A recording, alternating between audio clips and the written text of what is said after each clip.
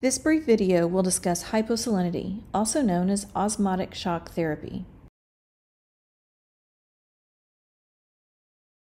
Hyposalinity only eliminates two marine pathogens, marine ich and flukes. Hypo may suppress symptoms of marine velvet disease, Brooklynella, and Uronema for a while, but these parasites usually return as salinity is being raised back up. So it is very important to be sure your fish have either ich or flukes before considering hypo treatment.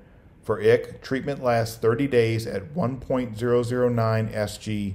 For flukes, 10 days is usually sufficient, but certain strains may take up to 35 days to fully eliminate. So it may be a good idea to run any new fish through hypo for 35 days if you are using it for prophylactic treatment.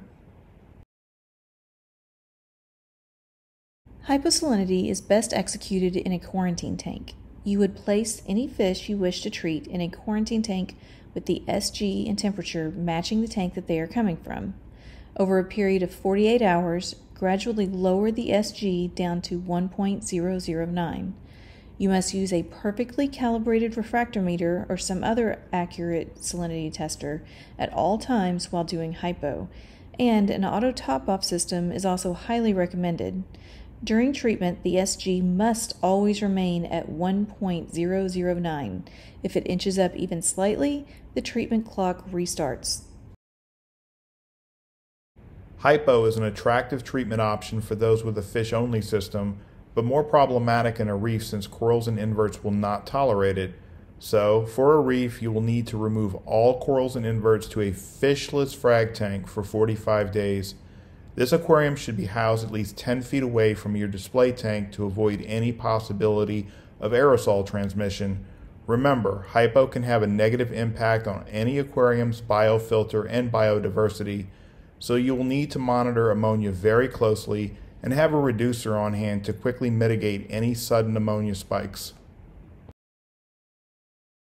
There are some special considerations when using hypo. Number one, one of the challenges posed by hypo is maintaining a proper pH for the entire duration. While fish aren't overly sensitive to low pH for short periods of time, anything continuously lower than 7.5 is going to be a problem so you will have to constantly test and raise the pH as needed. This can be accomplished by using supplements available at most local fish shops, or you can bake your own DIY supplement by using baking soda. Spread baking soda onto a clean baking sheet and bake at 300 degrees Fahrenheit for one hour. This process drives off carbon dioxide and water from the baking soda, and the result is an effective pH booster.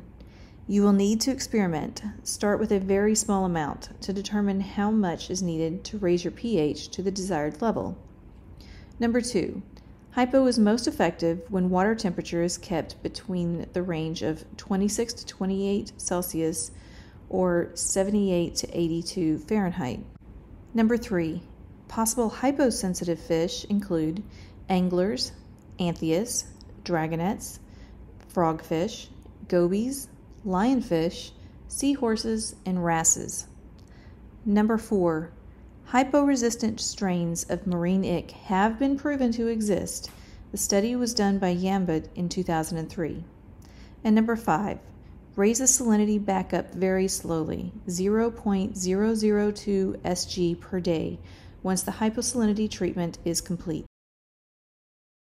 Thank you for watching this presentation and hit the subscribe button for more informational videos.